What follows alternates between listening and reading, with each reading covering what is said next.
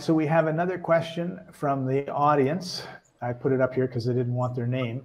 How can I make my property appreciate more? How can I make my property appreciate more? Well, there's a great question. You actually fix it up. So you cause appreciation in your property. And when you actually create that equity in the property by updating it, upgrading it, adding on rooms, taking a garage, converting it into one or two more bedrooms, uh, upgrading, adding another bathroom, or taking a half bath and making it a full bath. Those are all things that can cause your property to appreciate.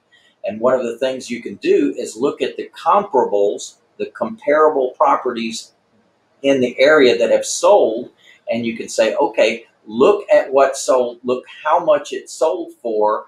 It's got three bedrooms, it's got two bathrooms, it's got a two car garage, it's got a basement. Okay, how much per square foot did that property sell for?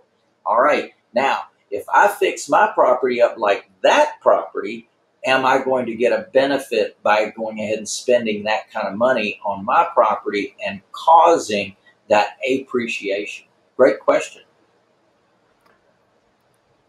Awesome.